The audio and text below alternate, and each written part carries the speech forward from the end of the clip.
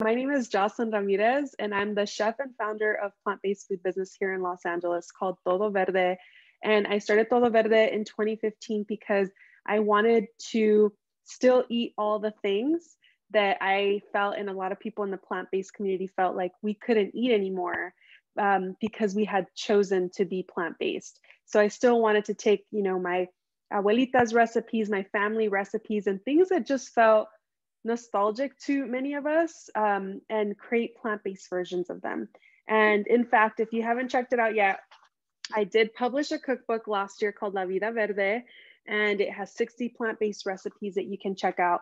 And we are going to be going through three of them today. If you have the book in front of you and you want to jot down notes in it, we're going to do the uh, Mexican brown rice or the arroz mexicano on page 94 and then literally turn a page, page uh, 90, 97, the frijoles negros or the black bean smash. If you've ever had our catering, we call it black bean smash. Um, and then of course, tortillas hechas a mano, which is on the next page. So it's back to back to back. And uh, it's, it's funny because, um, you know, I, I do so many of these classes and my partner's like, oh, what are you cooking this weekend? And I was like, rice, beans, and tortillas. And he was like, okay, like whatevs, not nothing too special. And I was like, what? This is like the foundation of a special dish. Um, you know so i i had to kind of school him on how important like this this trinity is to mexican cuisine.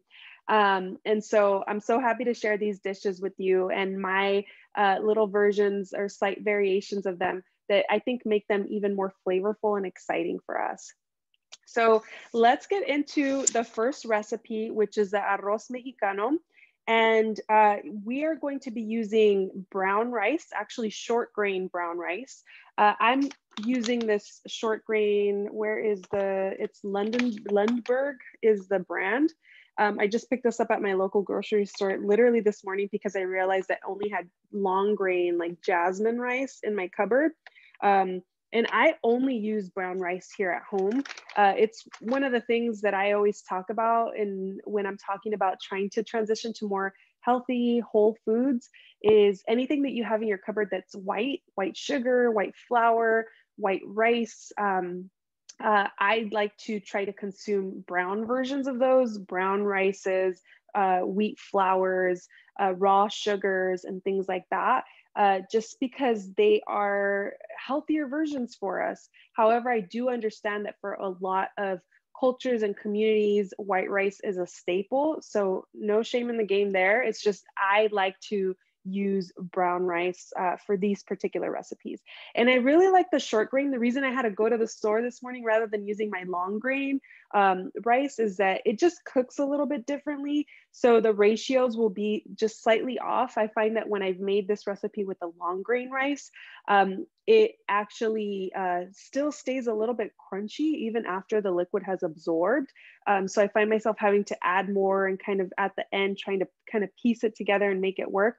Whereas for the short grain, I find that it just cooks perfectly. And I haven't used this brand specifically for this, so I, am going to see, we're, we're going to check out how it works out. Um, but I'll actually pull up the grains here up close so you can see. So we use a short grain rice for todo verde in our recipe. And these grains are actually super teeny tiny. They're little, little, like maybe a, a quarter of an inch, if that, um, in length. And we use one that's maybe just not double the size, but um, in length, but maybe just a little bit longer. So these are little, little itty bitty ones. Um, and so I'm excited to use these. And all I did was I measured out, this is one and three quarter cups of rice and I rinsed it thoroughly in a strainer. Um, and you can rinse it in a bowl and uh, pretty much you keep, you can keep rinsing until you feel like the water is not as cloudy anymore. So you're just trying to get any dirt debris off of it um, and make sure that it's nice and clean. So I have one and three quarter cups already rinsed. And then we're going to just lightly toast this or pan fry it in our pot. Um, but before I do that, I just want to talk about the things that are going to flavor it. So things that we typically see in a Mexican rice are, and I, and I want to stress here that Mexican rice is different than Spanish rice. I think that that is something that I hear all the time like, oh, Mexican rice, Spanish rice, they look the same. Uh, different, sometimes different types of rices. Um, the, the type of Spanish rice that we see is typically more like paella, and the coloring mostly comes from saffron versus tomato, uh, tomato base. And also they're using arborio rice, uh, which is different than the type of rice that we typically use in Mexico, which is more of a short grain white rice. Um, and so this is more of a tomato base.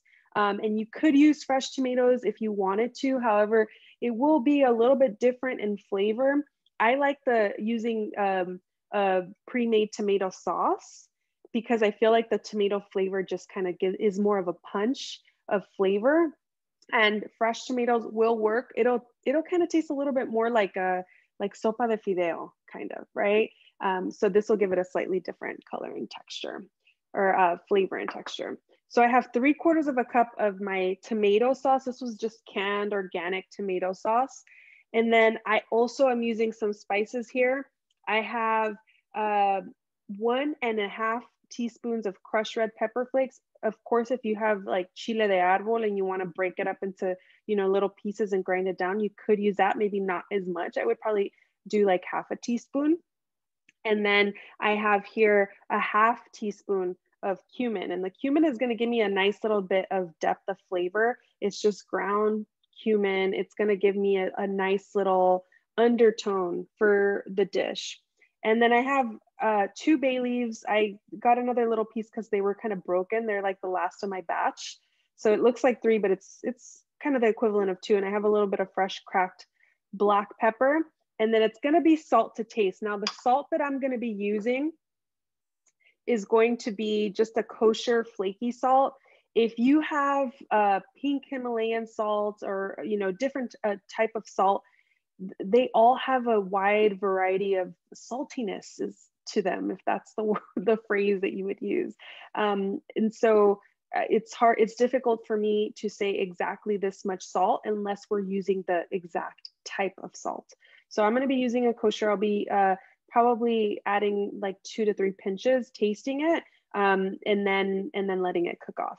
And the liquids, the other liquids that I'm using in here, I know this is half a cup, but this is gonna be for the beans and the rice, but you're gonna use a quarter cup of cooking oil. The type of cooking oil that I prefer to use here at home is grapeseed oil. I just find that it can uh, take heat a little bit better. It has a higher smoke point, um, and it's pretty neutral in flavor, so it won't overpower anything. And uh, and and it just it just works very nicely. For todo verde, we use a rice bran oil you can definitely use um, uh, vegetable, canola, avocado oil. Um, I have made this with extra virgin olive oil. It's fine, um, but it's a more expensive um, product to use for something that you're cooking and maybe even slightly burning because it doesn't have as high of a, of a smoke point. So you're gonna have a quarter cup of that oil that you'll be using to pan fry. So we'll start off with these two. And then once this is nice and toasted, we'll introduce our vegetable broth. And I have here two and three quarter cups of vegetable broth and I'm stirring it because I'll show you the product that I use to make this. Um, not that I'm plugging it, but I just think it's a little bit of a time saver sometimes if you don't have that whole container of vegetable broth in your fridge or in your cupboard. I like to use this better than bouillon base. And essentially a teaspoon of this paste to a cup of hot water ends up being a cup of vegetable broth. So they have vegetable, chicken base, a few different diff uh, different bases. And it's just really convenient to just have this small little container that will end up being the equivalent of who knows how many. I'm sure it says in here how many it ends up being cups of 38 servings. So this is 38 cups of vegetable broth as compared to those cartons that we get. So this will uh, definitely last a little bit longer. So let's head over to the stove. I'm going to preheat a pot. And the other thing I will say about this is I like to use a pot that's not too big. So I'm using the smaller pot on my front burner. It's probably gonna be like filled all the way. Um, but the reason I don't like to use like the big pot back here for rice is I just find that when it's more spread out um, and you're not making a ton of it, that it kind of uh, the liquid evaporates a whole lot faster and it kind of dries out a little bit faster. And so the cooking is a little bit off and in a smaller pot it's more contained. So i just prefer to use um, you know a small to medium pot for this and we'll see how filled up it gets. I, i'm always like concerned about this. Even when we're in the kitchen with all the red like is that pot too small? And then you pour the rice in and you're like wow you were you were tripping. It's definitely not too small. so I am going to, I have this on at about like a medium low heat. And I'm just gonna pour in my quarter cup of oil. Let me measure that out and do another little dash there. Okay, so I have my quarter cup of oil that went in. And I just want that to get nice and warm. And you'll be able to tell if it's if it's hot, if it's moving really quickly, in your in your pan. And sometimes you see a little bit of like this iridescent sheen in it. Um, also the test is you could throw in a grain of rice or you can just wet your fingertips and splash a little bit of water in there. And if you hear that sizzle on the on the um, oil it's hot. Now make sure you have if you haven't measured everything out before you start this and you're cooking along make sure you have your liquids measured out. Your, your vegetable broth and your tomato sauce should be ready to go so that as soon as this is done, you just immediately pour in those liquids. So I'm just gonna grab a wooden spoon and I'm going to just gently, because this oil is hot, pour in my rice. And this is uh, something that you you want to kind of stick with here in the kitchen. You don't want to walk away and be like, oh, let me try to wash some dishes or do some other stuff in the kitchen. You want to pretty much stay here. This is even like, I'm like getting all stressed because it's taking forever to get all that rice out. And so what I want to do is I want to just stay here and just keep mixing this rice here in the oil. So I'm just pan frying and it'll be, I'll be here for a few minutes. And what I'm trying to do is I'll start to see the color adjust. It'll start to turn a nice toasty brown. I mean, it's already brown rice, but you'll, you'll definitely see a little bit of a color difference there. And then I'll also be able to smell the aromatic rice becoming this nice toasty fragrance. So I had it on a little bit too high right now. I'm probably on a like a two to three dial on my stove but now it's getting too low. So I'll turn it back up a little bit. I'm probably now like at a four. And each of our dials are a little bit different. I'm just below medium. So just in case yours is like different numbers, I'm like just below medium.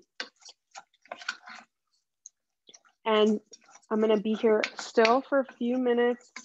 And of course we rinse this rice. So there is some moisture in here. And that moisture is either absorbing into the rice, slightly evaporating as this, you know, toasting process happens. And this is very similar to what we do for sopa de fideo, right? For the fideo, we also toast the, the noodles or the pasta uh, and it gives it a nice uh, bit of flavor. It definitely feels a bit different than when you just um, have the rice that's rinsed and you just add all the liquids and just boil it and cook it that way. Um, this just adds another little depth of flavor to the dish. So it's an important step. I wouldn't skip this step. Um, I haven't tried to do this in an Instapot because I've been finding that I, I cook a lot of brown rice for just bowls. Like I'll, I'll do bowls with like roasted veggies and stuff like that. And I use my Instapot a lot. And I know it does have a feature where you could you know, kind of sear and sizzle things slightly. Um, but that's to be determined if it's a good fit for this particular dish. And starting to smell really yummy in here. Really, really good. I can see at the bottom that I'm getting a nice sizzle and you can also look at where are your hot spots? Like your hot spot might be, for me, it's right here. I can see all the oil sizzling right here. And on this side, not so much. It, it is, but not as much as this side. So just keep an eye on your hot spot and make sure that nothing is staying there for a long period of time where it's going to um, toast a whole lot more there and not evenly cook or evenly toast throughout. And that's what happens is like sometimes if you walk away the bottom is gonna get super nice and toasty, but the top area or whatever's not touching the oil or the heat source is not gonna toast. Um, and so you're gonna have kind of uneven cooking.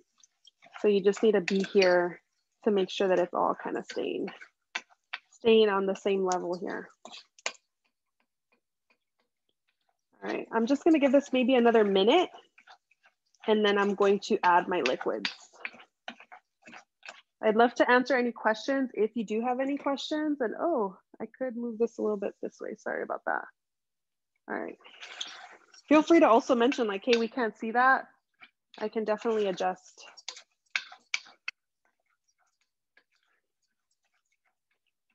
All right, we are almost there. So let's see if we can see a slight difference in the color. This has a little window in it. You can see that is the color of the rice uncooked. And then that is the color cooked, which it's a, a little bit of a difference. You see a little bit more of a golden brown in the rice in the pot. Not gonna be a huge difference. I think you'll be able to see the, um, the not I think, I know you're able to see the browning happen more on white rice, not as much on brown rice, but you can still see it.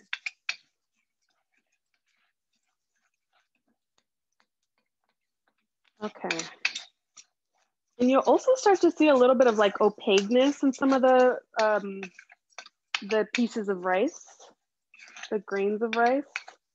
As they get nice and uh, toasty on the outside, they'll turn a little bit opaque. All right, so I am going to start working on introducing my liquids here.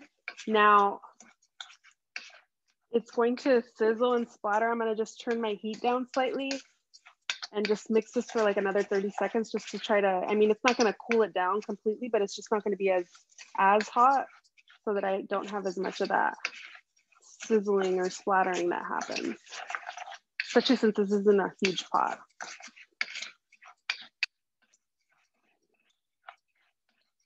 All right, Yes, that's looking nice and toasty. You can see there the browning that's happened, the little bit of opaque color that I mentioned. I can get in a little closer there so you can see.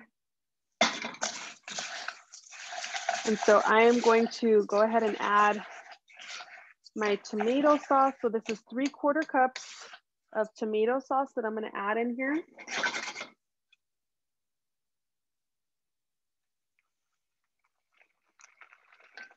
And then I have, I'm just going to add my, um,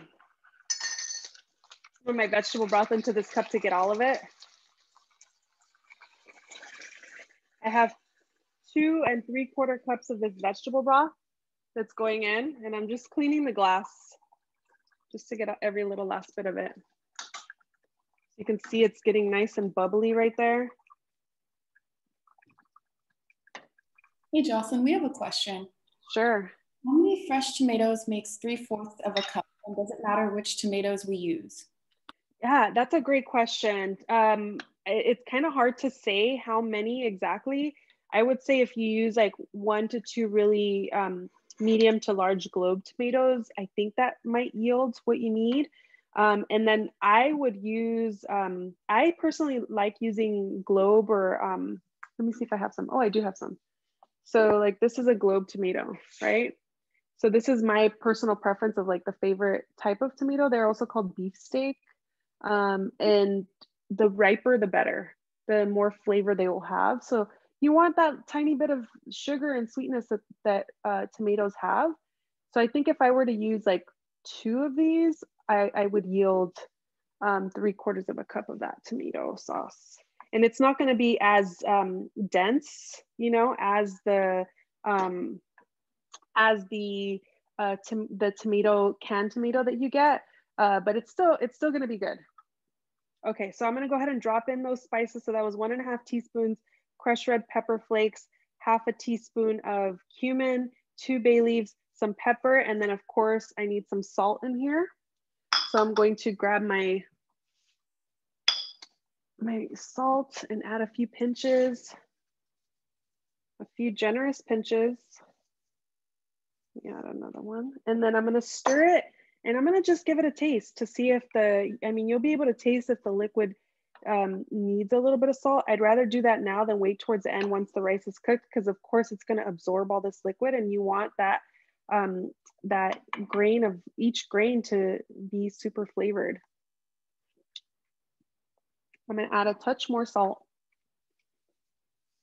I love salt, by the way, so you might be like, OMG girl, you're adding so much salt. Um, I just think it's it enhances the flavors in here and just makes everything really marry super well. Let me give it another taste. That tastes great. So what I'm gonna do is I'm going to just transfer this to my back burner because this needs to cook for about 45 minutes. And obviously we're gonna be cooking other things. So I just want it out of the way. I'm gonna turn on that back burner and I'm going to turn it to about like a medium low again, just under medium. I'm going to remove the spoon. I already mixed everything together. And I'm going to just set the jar on, uh, the jar, the lid on a jar, if that makes sense. You know, a jar means like it's not sealed all the way, that it has a little breathing room. Um, and then once this starts to uh, come up in temperature, if it's boiling a lot, I'm going to bring it down and I, I want it to just simmer. So uh, once it comes up, because obviously that liquid was not super hot. So uh, I'll give it a few minutes to see what it's looking like. And I'm like, okay, if, it, if it's uh, not simmering yet, um, then I'll turn up the heat slightly and I want it to get nice and hot and then keep cooking it at a simmer for the 45 minutes. I'm also gonna set a timer, really important here. And what I like to do for my timer is also check it at the about the 30 minute mark. So when my timer is down, um, and you can't see my timer, but I'm just using the one on my stove here at 45 minutes. So when that's down to about 15 minutes left, I'll check it and see if, you know, there's anything, you know, maybe I'm like, oh, wow, it hasn't been simmering enough, or there's still a bunch of the liquid left in there and it hasn't evaporated. I'll slightly turn up the heat and let that come to a, a little bit higher of a simmer. Um, Still not quite a boil, a full rolling boil, um, but I just wanna make sure that it has enough of that hot temperature to finish it um, in time for the 45 minute mark. So that's on the back burner and we'll let that just go until we're um, uh, closer to seeing that completed dish. And on my front burner, I'm just going to preheat a bigger pot and sorry, this pot is gonna be much bigger than what I actually need, but I literally only have these two pots at home. so I have a, a small pot and a big one. And so this is what's going to work for, um, for our beans. So I'm just gonna turn that on to like a, a low heat um, just so it can start preheating. And I can also throw in, I have a quarter cup of oil, same oil, the grapeseed oil that I'm just going to pour into that pot and let that just come to temperature. And let's talk about the, the beans. So we'll come back here. And so we're using black beans for this dish. And I love using black beans because I find that, you know, the color is so beautiful, um, especially when you puree it and ends up being um, like a charcoal color which I find really beautiful, especially if you make tostadas. I recently made um, tostadas de mushroom tinga. Um, tinga is a, a dish typically made with chicken that has chipotle, tomatoes, onion, garlic. And so it has this kind of like a red hue to it. And I made it with mushrooms. And I had black beans on the on a tostada uh, topped with that. So it's just the layers of color that look really interesting to me. Um, and so these are kind of my go-tos. I, of course, love eating pinto beans, mayacoba beans, also known as peruanos. Um, there's so many varieties of beans that you can use. For this dish, we're using the black beans. So I have three cups. And if you, um, one thing that I recommend, if you're cooking your fresh beans yourself from dry to cooked, um, typically you want to soak your beans for a few hours up to overnight and then put them uh, some people drain that soaking liquid some people use it i've heard uh, a, a, famous chef her name is samin nosrat she had a show on netflix called salt fat acid heat and also wrote a book um, actually the show is based on the book but anywho i've heard her talk about cooking beans. Um, and she said something really funny, which was like, "Oh, a lot of people like to drain the that soaking liquid out because that's where all the farts are." Um, and I thought that was so funny. Um, I'm just laughing by myself here. Everybody else is muted, but it's uh, but I still am fine with using that cooking liquid and adding more to it.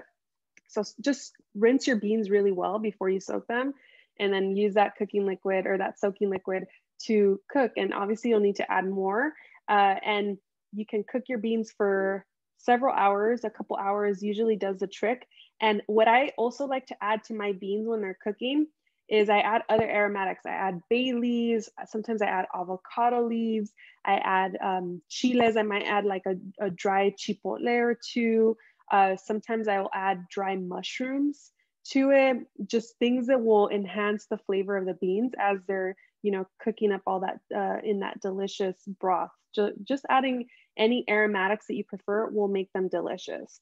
Now, however, for this dish, we're still going to add more spices to it, even though they've already cooked in, in something, right, that has given them a little bit of that flavor. It's just gonna make this particular dish even more flavorful. So I have my three cups of black beans that have been pre-cooked. Um, and so they're already edible, but we're going to just cook them a little bit more with a little bit more uh, liquid. You could use vegetable broth like we have here, or if you did cook these from scratch, you could absolutely use the liquid that you use to cook them in. So up to you, um, but here we're using vegetable broth. I know some people are probably gonna be using canned beans and that's totally okay too. So three cups of the beans and we're, we have one cup of broth and then the spices are super similar because uh, we're trying to like make a dish that you know it has different flavors but they're all kind of seasoned the, similarly so the notes are are it kind of ties everything together so here let me ooh, and i panned down a little too much there we go let me open up to this page just to make sure i'm looking at the seasoning properly i have half a teaspoon of cumin so same amount of uh, sorry I have half a teaspoon of crushed red pepper flakes. So the crushed red pepper flakes are a little bit less than what we used in the rice dish. Um, but just to give a little hint of spiciness again, you could absolutely use chile de árbol. And then I have a half teaspoon of ground cumin. And so again, giving that nice kind of um, foundational flavor, that back note that's gonna give a nice depth to the dish. I have one bay leaf here and I have some uh, freshly ground black pepper. And again, it's gonna be salt to taste. If you are using canned beans that were already salted, um, sometimes they're a little bit more salty than the types of beans you might cook yourself, uh, de la olla. So just be mindful of the salt and um, taste your beans and see if they already feel fairly salty. And then you can always, um, this one, I feel more comfortable saying you can add salt even as uh, towards the end process versus like the rice. I really want each grain of rice to be flavored really nicely. So let's head back over to the stove. And this is gonna be super easy. We're literally just throwing everything in the pot and letting it simmer for 10, 15 minutes. So we're gonna throw in, and the oil's nice and hot, or nice and warm, I would say. I wouldn't say it's super hot. So we have our three cups of beans. Jocelyn, I have a couple of questions. Yeah, absolutely. Uh, can I use the uh, bean cooking liquid as the broth? Yes, absolutely. So we were just talking about that. I would say yes, feel free to do that. It's gonna taste even more like the, the beans and the aromatics that you put in there. So you can absolutely use that one cup of bean broth versus vegetable broth. And is the mash that we're making similar to refried beans that they serve in restaurants? Uh, I would say ours are going to be probably a little bit smoother. Um, so it's like it feels even a little bit more spreadable. I guess it depends per restaurant, right? Uh, it's slightly different per restaurant but yeah, it'll be a little bit like uh, refried beans. Um, we have the oil in here that's going, which gives it that nice kind of like fatty texture to it as well. Um, and then the ours are definitely going to be smooth, smooth, smooth. I like to really uh, blitz these until they're nice and smooth versus refried beans sometimes have a little bit of texture still left to them. So we're going to add our spices, our aromatics here. And I'm just going to use the spoon to mix everything together. And I like to make sure my bay leaf is like tucked into the bottom in, in the liquid. So make sure it's not sitting on top, that it's actually like tucked in. So my bay leaf is like nowhere to be found because it's like buried under that little pile of beans right there, tucked at the bottom. And we are going to just let this cook and simmer for about 15 minutes. I'm turning it up slightly to like a medium, uh, just under medium here. And I'm going to also set this lid on a jar. And then let's check out how much my rice is boiling. Look at that. So it's definitely on a rolling boil right now. And so I don't want it to cook like this the whole time. I want it to simmer. So I'm gonna drop the heat a little bit. So I was just under medium and I'm dropping it like a couple notches down because I don't want it to um, have the liquid evaporate but not cook the rice all the way through.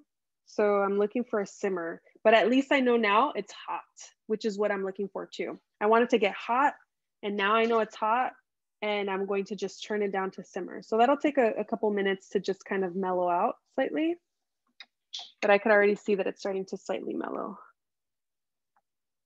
Okay, and I'll keep checking on that just to make sure that I have that simmer that I'm looking for. So let's come back to the main screen here. And we are going to get into tortillas, talking about all things tortillas as those things cook. And um, and then we'll start cooking tortillas. So the beans have to be done because I'm only using two burners on my stove. I guess I could move some things, but um, once the beans are done, we'll start cooking the tortillas. But let's talk about masa right now. And if you have the book in front of you, we're on page 98. And so I'm gonna talk about just masa harina and the types of things that you, uh, types of brands uh, and things to look out for when you're buying masa harina. So I'm just going to pan down. This is the only thing I have not measured, which I didn't mention earlier. Um, we're gonna be using two cups of masa harina. The only reason I didn't measure is because I just wanted to show you how I measure and it's it seems super silly, but it makes all the difference. Um, but I'll talk about that in a second. First of all, I wanna just share with you some of the brands I have here at home. Uh, and I know I'm, I'm not trying to like plug these brands, but I'm just also letting you know like which ones I think have a better quality to them. Um, so this is the one that we use a lot with Todo Verde and we also sell in some of our kits. It's a, a golden organic masa harina made by Bob's Red Mill, AKA the grain gangster as they call him. And I mean, they sell a variety of different grains. Masa harina is one of them. And one thing that you wanna look out for here is that the ingredients, whether it's this brand or others, in that it's just literally corn and hydrated lime or trace of lime is what you're looking for, those two ingredients. Here I have a gold, gold mine. Um, this is a white masa harina, whereas this one is a golden or yellow corn. This one is white. Um, and again, flipping it over, the ingredients are literally organic white corn, trace of lime. That's it. Here I have Masienda, which is one of the more popular high-end brands of masa harina. This is excuse me, also a white corn. And I believe the ingredients are on the front for this one. Uh, non-GMO heirloom corn, premium, trace of lime.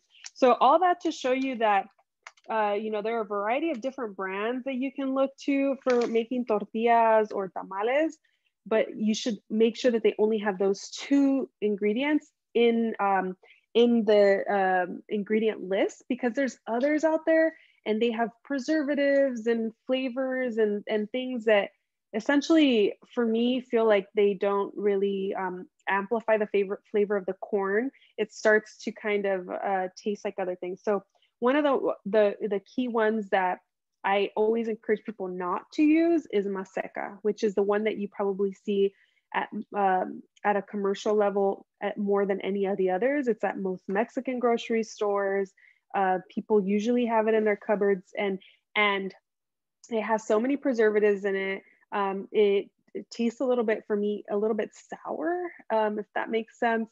Um, and the flavor for me is just not there. So, you know, I, I like to focus on some that really um, focus on just the corn itself and, and making sure that they have a delicious corn product.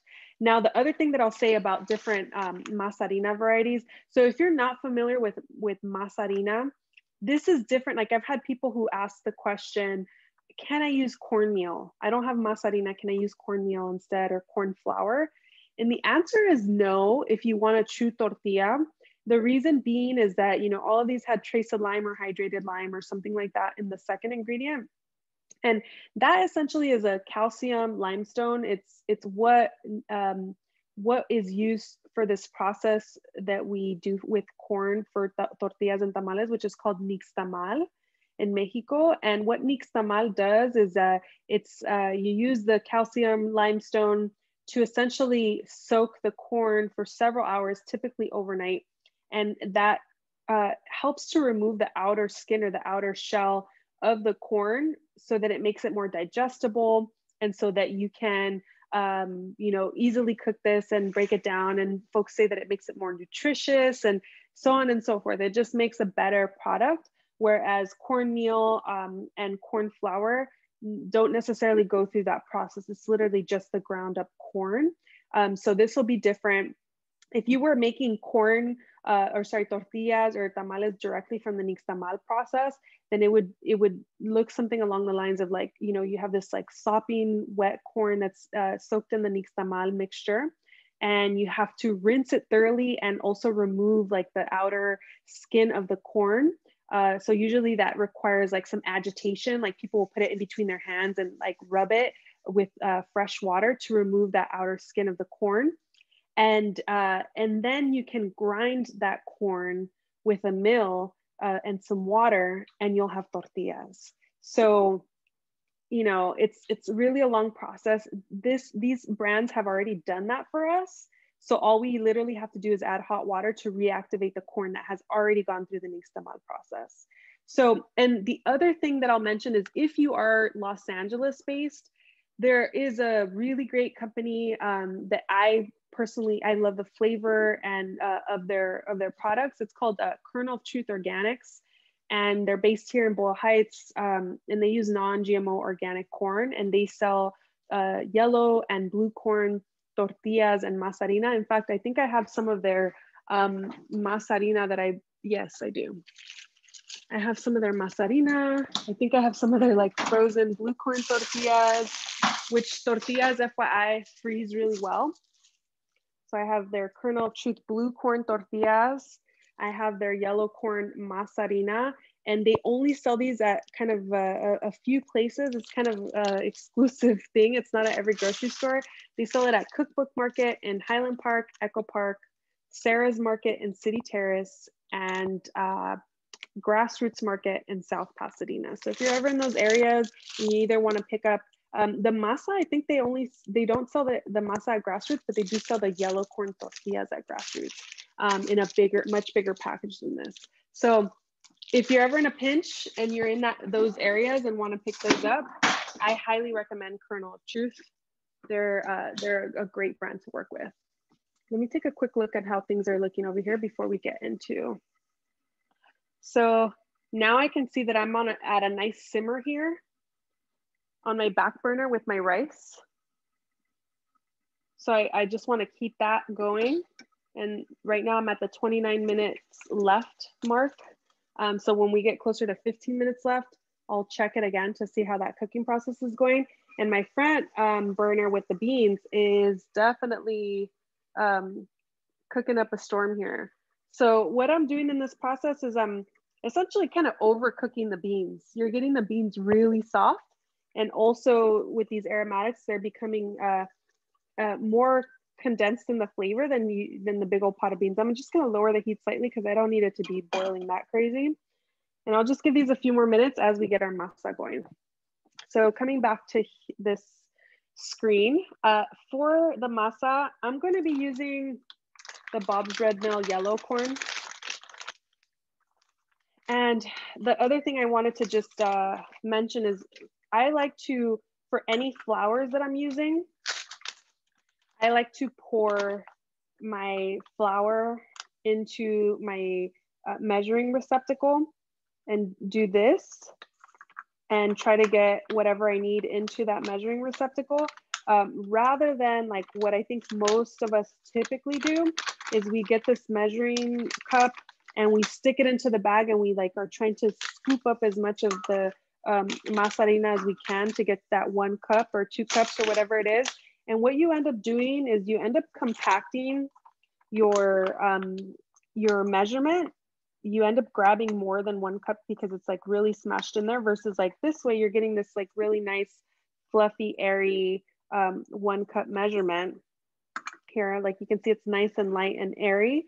Whereas when you scoop in like that, you end up uh, getting more than one cup. And so that tends to create issues for um, especially for baking. Like you know, it'll you'll yield like dry cookies, dry cakes, dry bread, um, because you're actually using a little bit more flour than the recipe calls for, and so it kind of dries everything out. So it's good to do this, or you can also use a spoon if it's a really big bag and like scoop with a spoon into your measuring receptacle. So I just wanted to show that nothing fancy, but it just is helpful if you want to try to stay more true to um, the cooking process. And then the other thing that I forgot to do is heat up my water. So let me go to my, I'm using a hot water kettle, so it'll be pretty fast. I just need to turn it on and let that come to temperature. And so the other thing that I'll say typically with masa harina, with going from dry to uh, a moist, pliable masa harina, is that it's typically one to one ratio of masa harina to water. Now I know that the recipe here calls for a little extra water um, in the ingredients list. It says two to three cups because sometimes there is a variation. Like if you are in a really dry region, it's really hot and dry, then you might yield a more dry masa harina that needs a bit more moisture. If you are in a humid area, if it's cold, um, there's like so many different factors. I think these are some of the same factors that bakers look to when they're baking bread, like the environment around them also impacts the way that the final product comes out. So typically it'll be one to one. However, I did add the extra cup just in case you need to kind of keep adding, or if you're um, if you leave it and you don't use it right away and it kind of starts to dry out just because it's exposed to the air, you might need to hit it with a little bit more of that water to uh, loosen it up so that it becomes nice and pliable again. So that's just kind of a general rule of thumb, the one to one. But tortillas are so finicky for a lot of people. Like it's even at restaurants where I know that they make their own masa. Um, it, even if there's a recipe there, it's a lot of it has to do with like who's making it, uh, the temperature, is the corn hot, is it not that hot? is the water as hot as it's supposed to be? Like all these things. And so it's hard to say like this is exactly how you make it. A lot of it is like you have to feel the the, the masa. You have to feel it with your hands and be like oh it needs this or that. And i'll show you like a few um, tips and tricks. And so while that's heating up the other thing that i do have is um I'm j- i like to add a little bit of a drizzle of oil to my tortillas just to make them even more um, pliable and um, but this is optional. Some people are like, you know, purists and they only want corn and water, and that's fine. I like to add a little bit of oil to mine, and I also like to add a little bit of salt um, just to kind of help the, the tortilla itself taste delicious. Like you almost don't need to add anything on it, and it just like is a delicious treat. um, so those are just things that I also like to add that I will be um, adding to this recipe. And lastly, the other things that I do have is I'm gonna be using a press to press tortillas, but I'm also gonna show you other ways to do that. So um, I like to use a tortilla press and I'll show you like why, because it saves so much time in your kitchen if, if you really do love making handmade tortillas. I'm using here one that's uh, by this brand called Victoria. They're based in Colombia and you can use this for tortillas, arepas. I like using cast iron and, and stainless steel, as you can see, just because I find that it's going to be something that you have in your cupboard forever. Whereas, like, if you go to these Mexican grocery stores like Vallarta and Northgate and so on and so forth, you can find the aluminum ones, the metal looking ones. Sometimes they're like um, a cheap metal and they're like painted with a with another color. Um, but I just find that um, I have uneven tortillas sometimes. Like sometimes they'll be a lot thicker on one side and thinner on the other, or um, those products get really rusty quickly. So if you want to clean them, they get super rusty. So after you know a couple years, they become trash. And so I'd rather have one where it's like I know I'm going to have this for a lifetime, and I just have to take care of it. um, versus the other, the other ones that I've seen out there. Um, if you don't have a tortilla press, what you could grab now is either two cutting boards. Um, I'm gonna show you, I'm gonna demo on my cooking serve on my um, countertop, which is all one piece of stone. But if you have grout, definitely get like a, a cutting board on the bottom and then another cutting board on top. Or alternatively, if you wanna see, like if your cutting board is probably not clear, it's maybe like wood or something, then you could use a baking dish. Where is mine? Here is mine. So you could use like a, one of these like clear baking dishes so that you can see what the tortilla is looking like below. And the reason I say a baking dish and not a plate is because a baking dish is going to be a, a thicker. Um, and so there's like less likelihood that you're going to put your weight on it and break it where I'm, you know, I'd be concerned about that with a regular cooking plate. So I have my two cups masa harina. Let me grab my hot water and let's start working on this masa. Would you say never never to use a rolling pin to make the tortillas? Uh, that's a great question. I've never used a rolling pin. I imagine that you might have a little bit of a sticking because usually when you use a rolling pin, you add a little bit of additional flour to roll so that there's no sticking, whereas a tortilla, you wouldn't have that.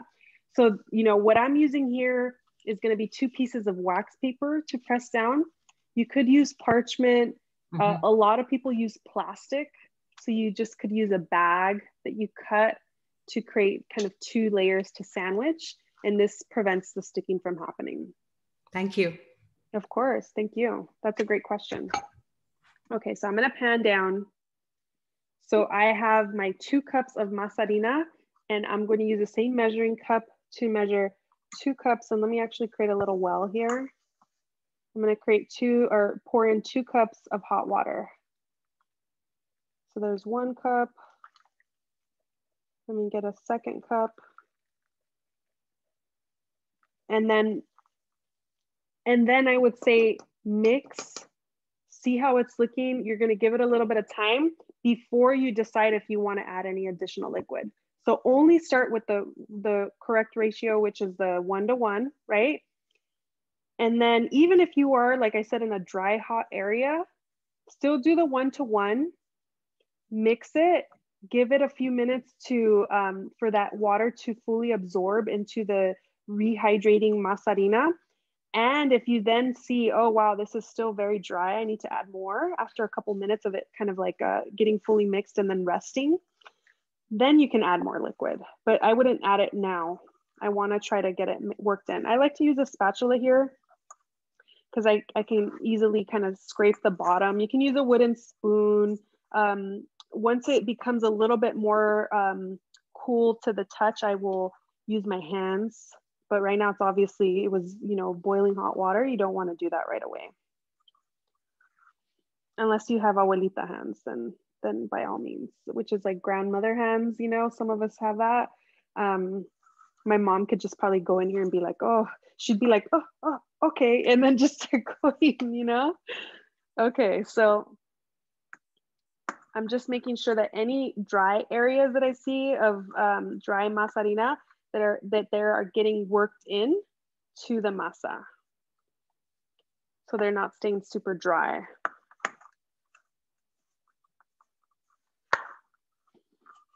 And what I'm gonna do at this point, since I see that it's all kind of coming together pretty nicely, is I'm also gonna add my little drizzle of olive oil. Oh, sorry, olive oil, cooking oil, not olive oil. Olive oil might, eh, for me, might be uh, too, a little bit too strong of a flavor here. So for my cooking oil, I have a quarter cup total. I'm just gonna eyeball like a, a tablespoon or two and you can always add more if you want to. But again, this is a little bit about like feeling it out, feeling it out. Like, does it need a little bit more water or oil? And so the oil makes it feel a little bit uh, pliable. It gives it a, um, uh, aside from the pliability, it gives it kind of like a little bit of like a sheen that um, helps it get like just a slight little crisp on the comal as well too, just like a little bit of that. So I can see that mine got a little bit shiny and I'm trying to work that oil in. And I'm also going to add here my little pinch of salt. So I'm just gonna add a little bit of salt.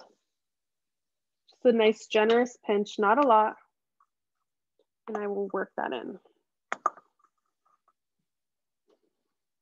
And so at this point, once you're kind of here with me and getting this all mixed together, what I would do is just set it aside for a moment and we're gonna go back to check on how our beans are doing for just a second because that's already been at least 10 minutes. Um, and then we'll come back to this masa, which is still mine is steaming, so it's not ready for my hands to enter yet. You can cover it, like if you don't want it to dry out, you can just put a towel over it or your plastic or your wax paper um, and just set it aside and let me go back and check to see how our beans are doing. So let me grab another towel here to remove the lid. All right, so my beans, at this point, they should be extremely soft. I'm gonna turn off the heat. Let me grab a spoon here. I'll actually grab a spatula because I'll need a spatula afterwards once they become sort of a, a paste. What I'm gonna do is remove my um, bay leaf and this bay leaf is nice and soft now because it's been cooking here for 10 minutes. It's done its, its job so you can compost it, you can toss it, just remove it. It's no longer needed in this dish. Unless you're using a high power blender and are okay blending your bay leaf into the mix mixture. Um, so we, we're either gonna use a handheld immersion blender or a, a, a regular blender to blend this until it's a nice smooth paste. And if you find that you need, maybe your some of your liquid has um, really evaporated and you need a little bit more liquid, you can always add a little bit more of your bean liquid, your bean cooking liquid, your vegetable broth, or even a little dash of water to help loosen it up as needed. So what I'm gonna do is I'm going to, I'm gonna be using a hand immersion blender, which is this tool here. It's a Cuisinart. I have this on hand just because it's one uh, easier tool to use rather than a blender.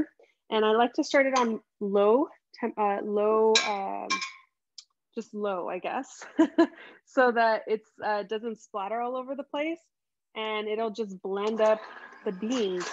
So you can just kind of go around and you can start to blend up the beans. And this is kind of a nice perk of having the big pot here is that some of the splatter is just staying in the pot so you're not getting yourself because this is hot. And you want to do this when this is when this is hot. It doesn't need to be you know boiling hot but you don't want this to you know be in the fridge and then you blend it because you'll likely need a little bit more liquid because the beans are going to kind of slightly harden. When that closed my back pot there. The vibration here. Close the back lid. Let me just open that up. All right so I'm just gonna keep blending this up until I get a nice smooth paste. Now that I've gotten a nice little bit of a, of a paste going, I mean, this is kind of like the refried beans texture, right? If you wanted that, you can, you can leave it at this point and say, okay, I'm done. Because um, sometimes it is nice to have that little bit of texture. I like to get it until it's nice and smooth and creamy, almost like a hummus. Um, and so I, I would keep going and I'm turning up my dial to like a medium.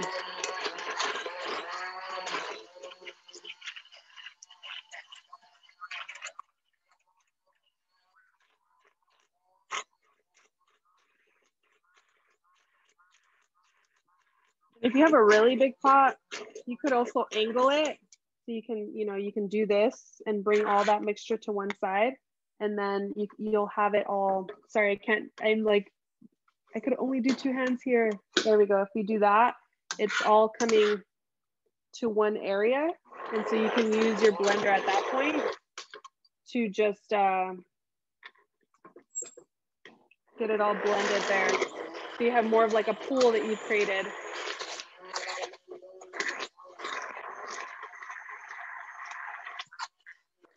And now I'm gonna turn it to all the way high. Just a few more clicks here.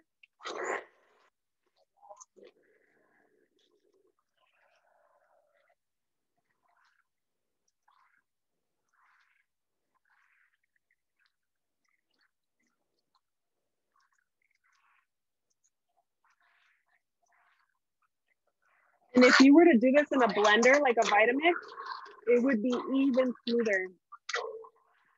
That'll blend it even smoother than the handheld blender will. But this for me is like super nice. So let me show you what this is looking like. So as you can see, it's a nice smooth consistency, but you can still see the little bits of the black bean skin, which I like. I like that little bit of texture, but it's still kind of smooth and a little bit, I wouldn't say it's runny, like it'll, it'll definitely hold up. Like it almost has like the soft peaks, right? Um, so, so this for me is a nice ideal texture for kind of spreading beans on a tostada. Or sometimes what I like to do is like kind of um, decoratively spread the beans on the plate and then put the rice over it. So you can see that layer of the beans, black beans, the uh, kind of orangey, vibrant rice. And, um, and, and then whatever you're gonna add to it, whatever you're gonna add on top. So any questions about the beans? And you can taste for salt at this point and adjust accordingly if you need to, because obviously it's a paste, so it's gonna be really easy to adjust that as needed. And so this for me is a, the emulsion blender is easier because it's like, now all I have to do is clean this thing versus a whole blender cup. So I'm just gonna scrape off any excess beans here. It is and so tasty. Yeah, it's so good, right? It's and it's really simple spices and ingredients um, but it just it's so complementing with you know the rice especially and they're going to be kind of like a like a nice marriage because uh, a nice little friendship going there because they have the same spices in them you know so they go together so nicely and the textures work just well just super nice i also love what you said which is you can stop in the middle if you want the texture yeah. of refried beans or you can go all the way and make it into this glossy paste Mm-hmm. Absolutely. Absolutely. And I would say if you make a even bigger batch of this, you could also use um, like a canned chipotle en adobo.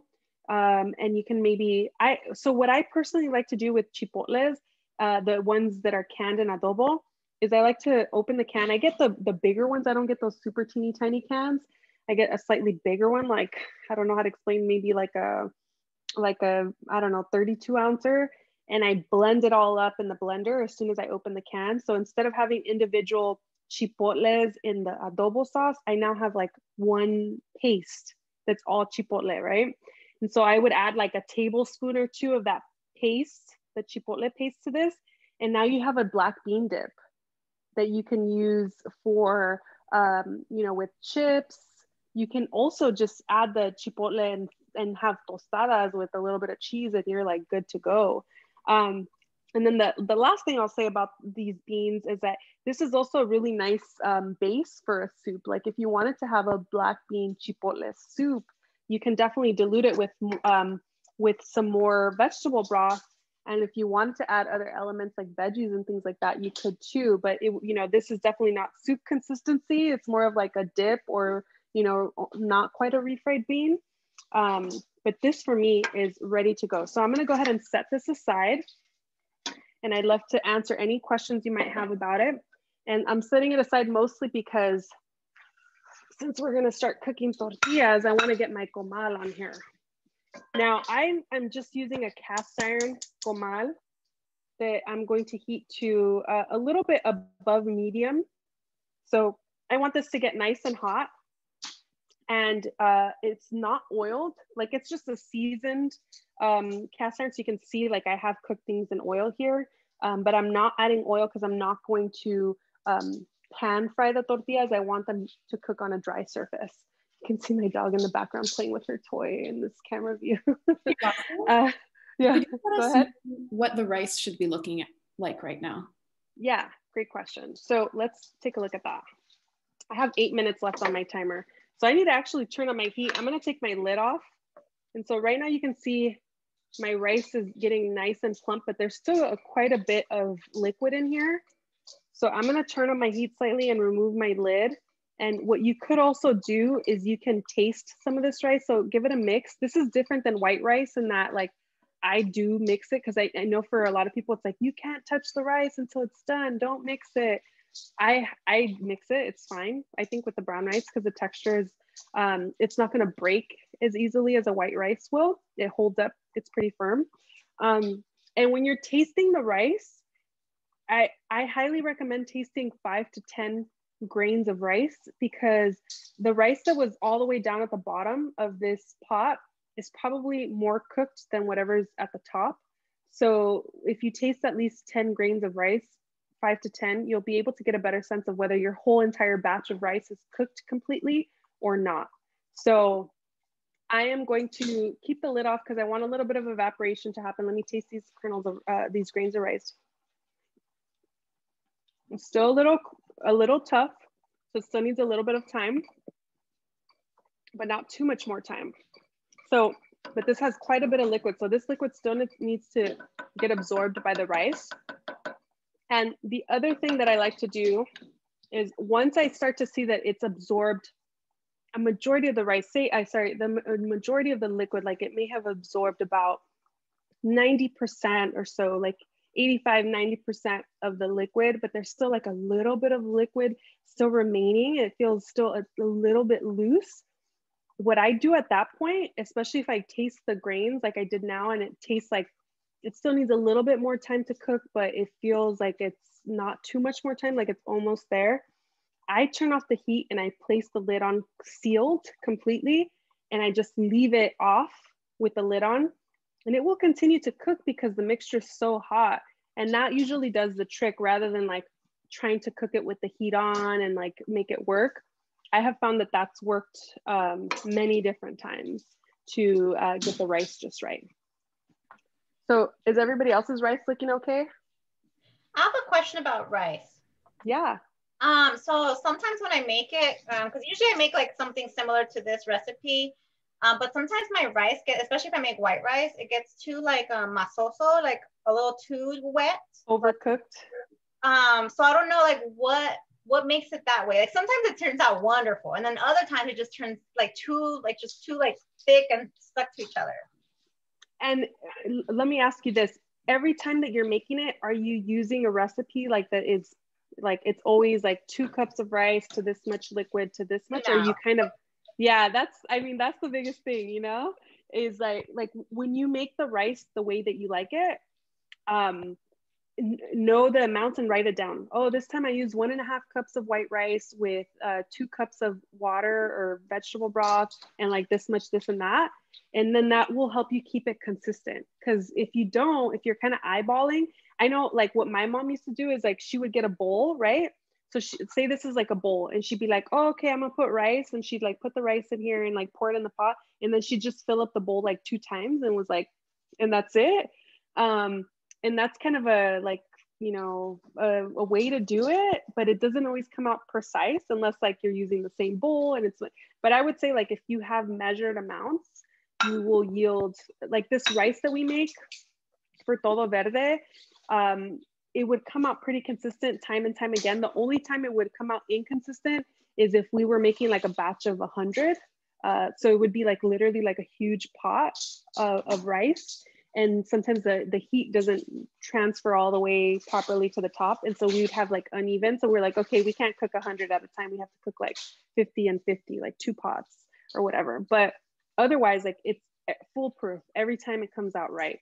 So um, that would be number one and and and it's probably coming out too clumpy or the the other times because you're adding a little bit too much liquid um, and it's just it, it, it, could only absorb so much liquid before it's like, oh my God, this is like too much. I'm just going to get soggy now. Um, and so that's probably what's happening. All right, so let's turn it back over to our tortillas. So I haven't added any liquid. It's just been hanging out in the, um, in the bowl. And now I'm gonna bring my hand into it. I can see that my cast iron is nice and hot. I'm gonna just drop it down to like a medium because it's slightly smoking. Um, and so I'm going to just bring my hand into it and I'm gonna what we call amasar or like uh, knead the dough. So you just wanna bring your hand in here and what you're looking for in this masa harina and this dough is a Play-Doh like consistency. Uh, and one that it, do, it doesn't stick to your hand. So if, if you're doing this, what I'm doing, and you have all this masa all stuck to your hand and it's like, oh, it's sticky and it's like, it's, it's stuck, then your masa is too wet. And if it's too wet, you can do two things. You can either add a little bit more of the masa harina to it. Um, if, especially if like this is still hot to the touch, it'll still um, uh, be able to absorb some of that liquid that's in here. Or the other thing that you can do is if you have time on your hands, you I like to just like spread the masa along the edges of my bowl. So you, essentially you have like a big wide open surface and you just let it stay exposed to the air. And then it's gonna kind of like uh, start to feel like a little bit dried out after, you know, like a few minutes. It could be like three to five minutes. It'll start to look like, oh, okay, it's getting a little dried out. And then I, I knead it again, feel it out, and then I spread it out again. And I just keep doing that until I feel like, okay, now this masa feels like it's um, it doesn't have as much of the moisture in it. Now, if it feels too dry, um, in that the way that you'll know that it's too dry is like if, for example, like right now I feel like mine is a little bit too dry. And so if I were to make a little ball of masa and I try to make it into a ball using the palms of my hands, and then I try to start opening it up it immediately starts kind of cracking at the edges, that is likely because it's a little bit too dry. So what I'm gonna do is I'm gonna add a little touch more of water. Um, I'm just gonna eyeball maybe like another tablespoon or so of water and a little dash of oil. And you can say, okay, I don't wanna add any more oil, enough oil. I just wanna focus on the water. It's kind of up to you. I, I just wanna add a little bit more of like, not just the water to uh, make the masa more pliable. That's my timer for the rice. Um, but you also, I want to add like a little bit more of like that oily moisture that the um, that the oil will provide to the masa harina. So I'm just going to add a little drizzle of oil, and I'm going to add another touch of the hot water. And I can work that together. That water is hot. Let me actually get my spatula just to be on the safe side here. And I'm just going to start to work that in. Okay, and I'll get my hand in here now that it's kind of mixed in there. And so I can immediately feel that that made a difference with my masa. It feels more moist to the touch. However, it's, I mean, I haven't fully worked it all in, but I have a tiny bit that got stuck here, but let me make sure it's like all fully incorporated because I only literally kneaded it or amasarlo like a second. So you can see that my masa is coming together and forming into a dough a lot easier. It looks smoother. It looks a little bit more moist. This is what it's looking like so far. Mine was a bit wet, and so I had to spread it out, like you said. Okay. Yeah. So that's a trick. Or if it's still uh, nice and, and uh, hot, you can add a little bit more of your masa harina to it.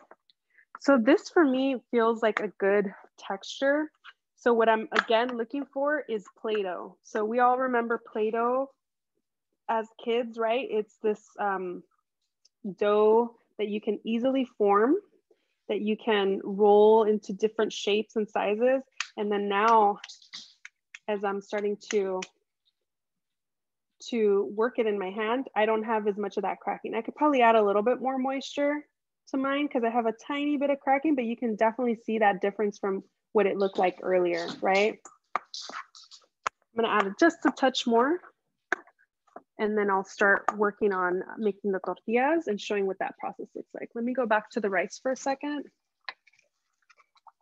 I'm gonna lower my heat even more because I'm feeling like it's starting to, one thing you wanna look out for is that if you're starting to feel it stick to the bottom, you want to avoid that from happening.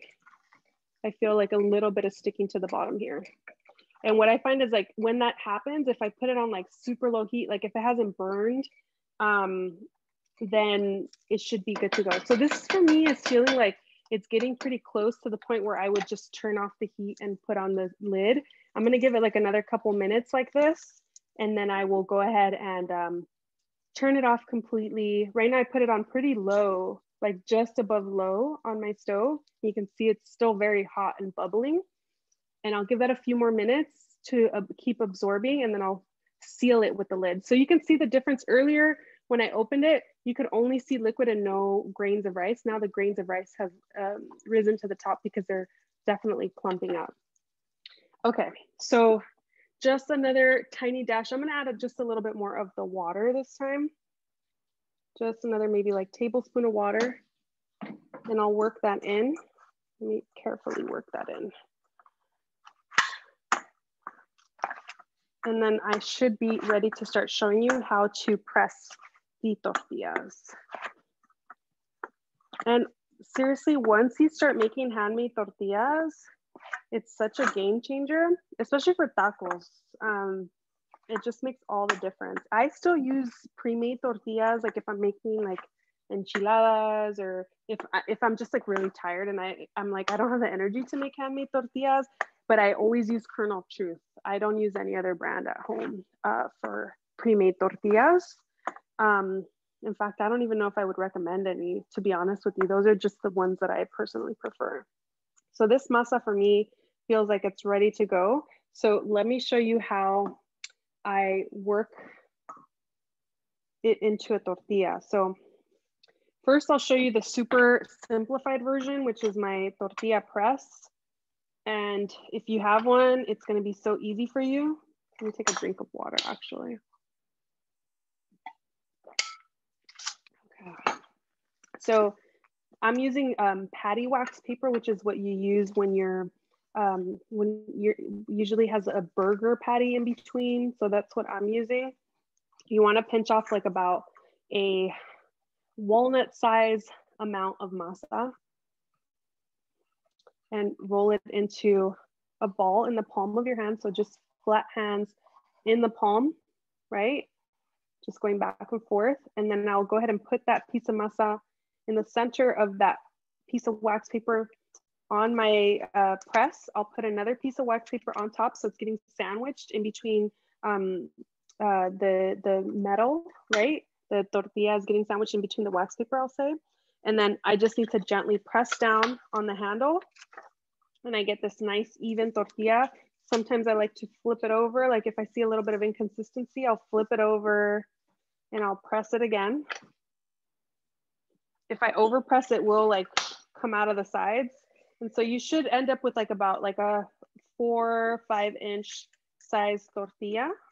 You peel away one side, the top side, and then I put the tortilla on top of my hand with the wax paper facing up and I peel away the other piece of paper. And so then you have the tortilla on your hand and I have that really hot comal. You want, let's head over to there because I just want to show you the way that I put down the tortilla. Sometimes I see people just kind of like plop down the tortilla. They're like, ah, and they like say this was a tortilla in my hand. They just do that and they're like, ah, right? Or they'll like use both hands. Essentially, what you want to do is you want to uh, put one side down so it kind of sticks a little bit to the comal and then remove your hand, slide your hand out from under it. And this again is like on a medium heat, medium, medium high heat. You want it to be nice and hot. And you're gonna give this tortilla about 20 seconds to create a seal, to create a barrier essentially. So like right now, if I try to move it, uh, it's moving a little bit because it's been on there for a few seconds. Um, but usually it's like at first it's stuck.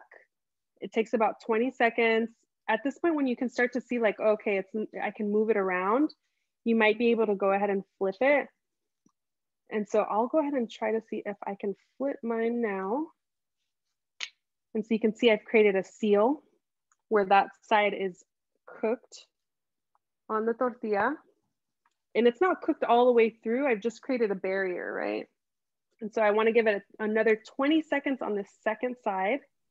And once about 20 seconds go by, I'll flip it back onto the original side and give it about another 20 seconds. Sometimes people kind of flip them back and forth until they puff slightly.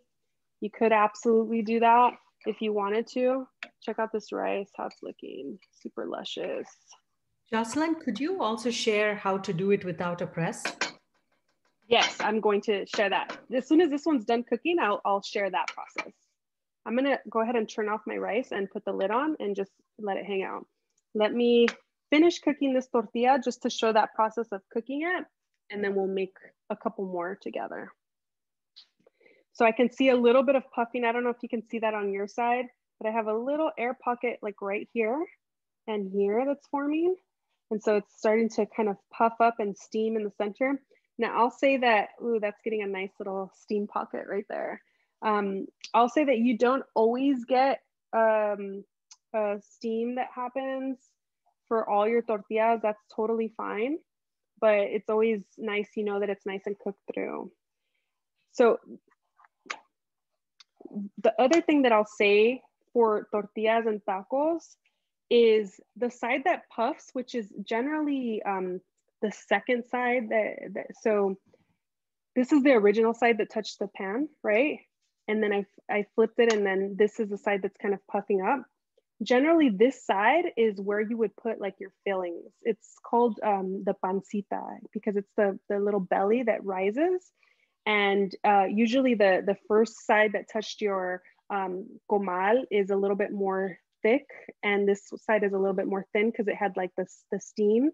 Um, and so you put you would put whatever you want to fill your taco with on the pancita side um, is kind of the name of the game, right? And let me grab a towel. And you want to have a towel handy to just place your tortilla in a towel and just cover it. You could put it in a tortilla holder and it'll help steam it. And so the other thing I'll say with tortillas as we start working on the second one is that even if your tortilla feels like, oh, maybe I overcooked it a little bit, it feels a little bit hard, or maybe I'm not sure if it's cooked all the way through. By the time you stack all your tortillas together in that in that towel, once they're cooked, they're gonna steam and they're gonna keep each other nice and hot. And any of the ones that feel hard are gonna soften because of the steam. And any of the ones that feel undercooked are going to cook all the way through because of the steam. So um, just do the 20, 20, 20 second rule and you should yield um, uh, some, some pretty decent tortillas. So now let's show the other process that we were just talking about with the Pyrex or the baking dish. So again, if you don't have a flat surface, make sure you put a cutting board down just so you don't get any grout shapes or any weird shapes um, in your tortilla. And I am going to just go directly on my counter because it is flat. I'm gonna place my piece of wax paper I'm gonna grab that sort of walnut size bit of masa and roll it in my hands, just in the palm of my hands as you can see here. Place that tortilla masa down, place the other piece of wax paper on top, and then I'm gonna grab my baking dish or your other cutting board and you're just going to use literally your weight to press down. So I press down in the center and then I, for this round dish, I like it because I can kind of like I'm doing this motion on the tortilla. So, and I can see everything that's happening. So I'm like, oh, okay, it's turning into a nice round shape.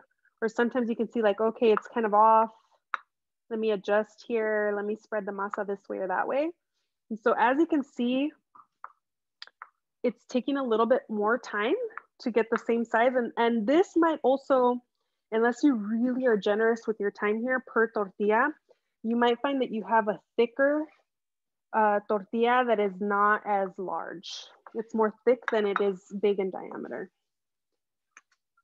So you can see that tortilla here. Again, I would peel away the top side, flip it over so the tortilla is on my hand, and then peel away the other layer of the wax paper or the plastic or whatever it is that you're using. Now this one starts to get all these like little ridges in it you can kind of piece it together if you see any rips or tears. It's pretty forgiving. It's again like Play-Doh, so you can mold it if you need to. And then I'm gonna go over to my comal and I'm going to place it down same way as we did earlier. So one side touches and I just remove my hand away. Make sure it's all touching. 20 seconds on this first side. So this tortilla isn't as cute, I would say. It has more texture, but that, I mean, it gives it character, right? So it's just a, a, a little bit a different type of tortilla. So about 20 seconds, and then you might see like mine, I still can't move it, it's stuck. but once that seal is created, I'll be able to move it across my comal a little bit more easily. It's still not ready for me yet to flip it.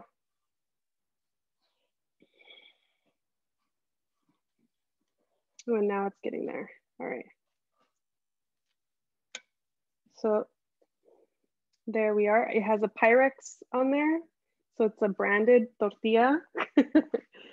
um, because it had, it said, sorry about that. It had a that Pyrex label on the bottom of the, of the, um, of the dish. So again, another 20 seconds on this side and then I'll flip it back over again. And, and you here's somebody, go ahead. You don't have to put any oil or anything on the comal to. That is correct. So no oil. Uh, it should be a dry comal or a dry skillet or a pan. Um, you know, whatever whatever you prefer to cook your tortillas in, but no oil. So you're not pan frying, it's all dry. All right, so I'm gonna flip it over to the original side. I don't think that this one's gonna puff because it has so many like ridges that were created. Maybe because I was um, pushing my weight a little bit forward. So the paper created all these little ridges in the, this doesn't always happen when I do that with the um, Pyrex, but it happened today. So, oh, actually I have a little puffing. So it's still, it's still working out. Mine looks very similar with all the wrinkles. oh, okay. Yeah. Yeah. It, it may very well happen. Okay, so I'm going to go ahead and add this tortilla with the other and fold it in a towel together. And then let's make another one together and then we'll check out how our rice is looking. My rice still might need a few more minutes to finish up, so it might not, you know, be 100% complete. Like we're actually over time, but um, but you'll get a sense of what it's looking like. I'm gonna make one more with the tortilla press. You saw the labor it took to make the tortilla with the Pyrex or with the cutting board. It's possible. It just is a little, a little bit different of a process. So again, always important, make sure that you're using the wax paper, plastic, something to create a barrier. And then I have my masa, rolling it into a ball. And the other thing I'll say about this masa is um, it holds well in the in the fridge or the freezer. Um, mostly the fridge I would prefer rather than the freezer. If you don't want to make all your tortillas today and you want to put it away, put it in an airtight bag. So like a bag that you can tie. So you would make sure that it's all in a ball together and then tie the bag up to the ball of masa so that no air is, is really touching it. And that'll help, uh, help it keep. Um, I personally prefer to just make all my tortillas. So I'm probably gonna just make all the tortillas right now. And then I prefer to already have cooked tortillas in my fridge rather than the masa itself. So, you know, it's kind of up to you what you personally prefer. And you can also freeze those tortillas too. So you can see how much um, more smooth of a process I have here if I'm using the press. So again, removing the top layer of the plastic or the parchment, whatever you're using, add the tortilla to your hand and peel away the, the other layer of the paper. And then we'll bring this to the comal, lay it flat down, and it's going to cook for 20 seconds on that first side. Like right now, it's still stuck. I can't move it. And, and I'm not moving, uh, pushing into this enough where I would like indent my fingers. I'm just doing a very soft, like, can I move this? Um, and it's, it's not budging yet. So it needs a little bit of time.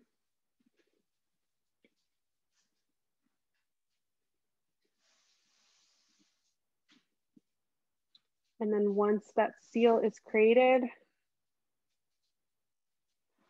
and of course you can use a spatula if you need to, like if the heat is too much, you can absolutely use a spatula.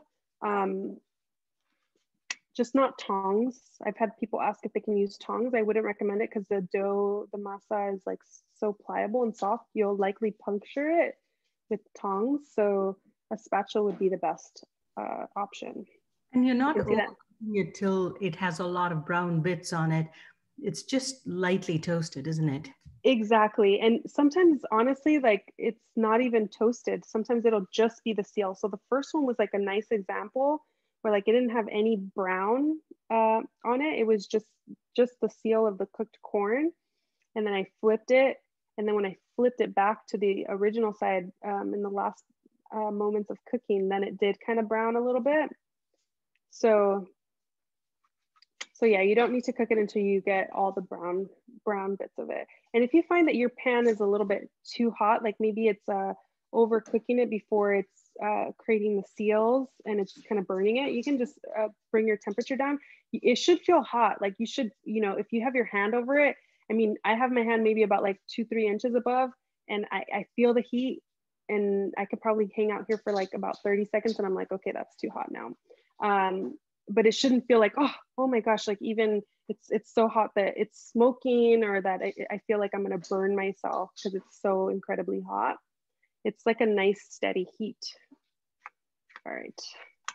When you have so, um, too many tortillas, how would you recommend to store them? Like, like once you've already made them, how, how would you store them? Yeah, so the way that I would store them is, you know, similar to how you buy tortillas, they're going to be in a in a bag, a plastic bag that'll help them from uh, getting stale uh, or or over drying. So you definitely want to put them in a bag um, and seal it, and then you could freeze them. You can um, have them in your fridge and just uh, reheat them.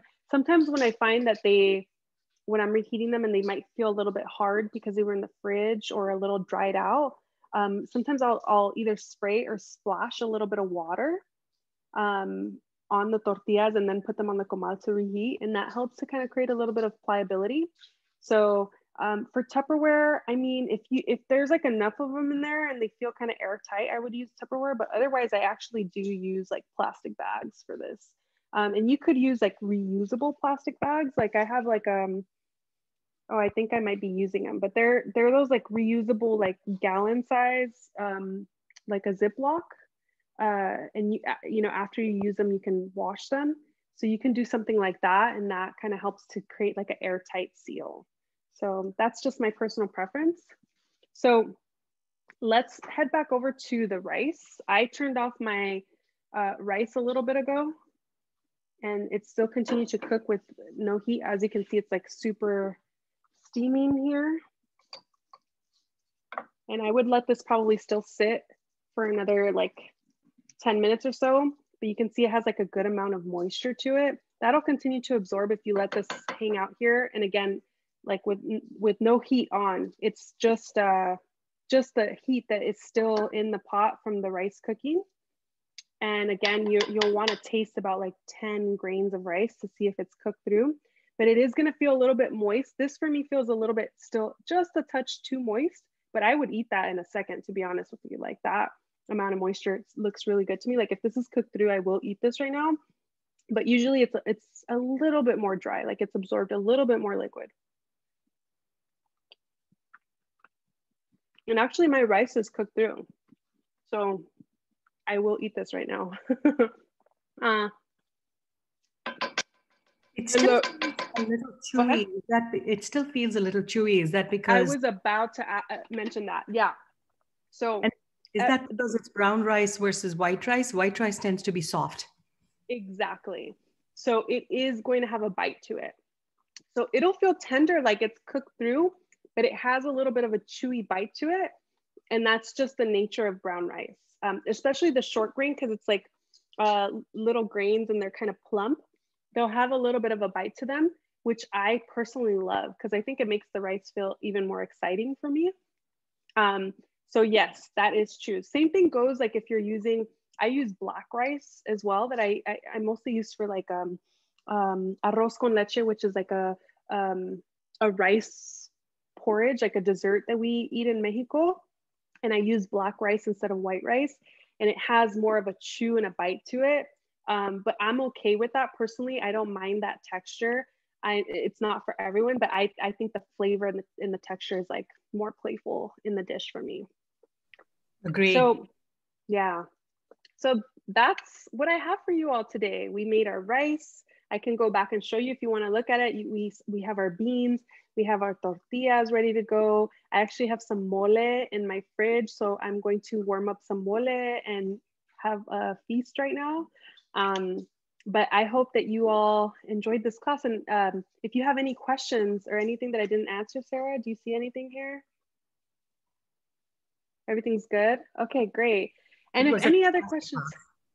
Oh, thank you. Thank you. And uh, later, if anything comes up, please feel free to reach out. You can always email us. Um, you can send us DMs, take pictures of your food, show us how it's looking.